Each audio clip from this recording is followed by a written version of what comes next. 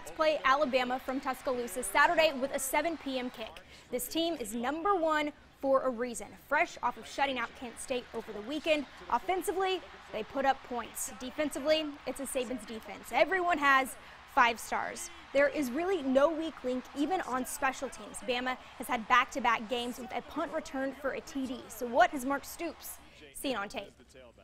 And the same thing I see on their offensive. a bunch of war daddies playing hard, and that's what I see.